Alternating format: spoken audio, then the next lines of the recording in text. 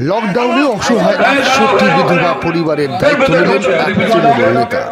সহযোগিতার হাত বাড়িয়ে দিল মালদা জেলা পুলিশ প্রশাসন। মালদা থেকে সুমিত ঘোষের রিপোর্ট ক্রাইম ব্রাঞ্চ। সাহেবের কাছ থেকে বিস্তারিতভাবে সব শুনলেন। আপনাদের সকলের পরিচিত অনুপ বাবু এসছেন। পশ্চিমবঙ্গ সরকারের জায়গায় এই প্রোগ্রাম চলছে। আমাদের থানার তরফ থেকেও আমরা যেসব জায়গায় মানুষের দুরবস্থা রয়েছে সেই সব জায়গায় আমরা থানার তরফ থেকে নিত্য প্রয়োজনীয় সামগ্রী তুলে দিচ্ছি। আপনাদের, আমি দুটো তথ্য জানাতে চাই। এই মুহূর্তে বিশ্বে করোনা ভাইরাস নিয়ে গোটা বিশ্ব আতঙ্কিত।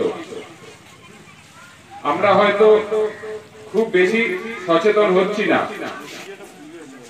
এই বিশ্বে এখন পর্যন্ত সাত লক্ষ মানুষ করোনা ভাইরাসে মানে করোনা ভাইরাসে রোগগ্রস্ত হয়েছে। ভারতবর্ষ প্রচুর জনবহুল দেশ, একশো তিরিশ কোটির দেশ। এখানে এক ঘরে প্রায় চার পাঁচ জন করে মানুষও থাকে। এই সংখ্যাটাই বেশি, দরিদ্র মানুষের সংখ্যাটা বেশি। তো আমার হ্যালো? রাস্তাঘাটে বেরোই। তো এর মধ্যে যদি একজনের হয়, ওটা একশো জনের নিমিষে ছড়িয়ে যাবে। সংখ্যাটা এখন বর্তমানে ভারতে রয়েছে এগারোশো কি বারোশো। তো ওই সংখ্যাটা এক লক্ষ কি এক কোটিতে পৌঁছাতে দশ দিনও সময় লাগবে না, যদি আমরা সচেতন না হই।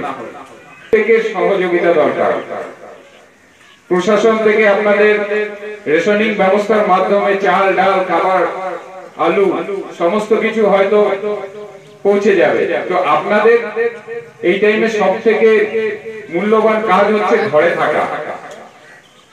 এবং পুলিশ প্রশাসনের তরফ থেকে বিভিন্ন ভাবে আপনারা খাদ্যদ্রব্য পেয়ে যাবেন এবং যারা পাননি, তারা হয়তো রেশনিং সিস্টেমের মাধ্যমে, না হলে পুলিশ প্রশাসনের মাধ্যমে খাদ্যদ্রব্য পেয়ে যাবেন।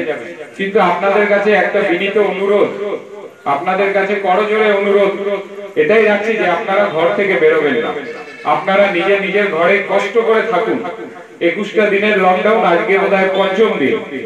তো আর ষোলোটা দিন রয়েছে, কষ্ট করে ঘরে থাকুন এবং এই মহামারী যেন আমাদের ছুতে না পারে এবং পশ্চিমবঙ্গ সরকারের এই মহান উদ্যোগকে সফল করুন।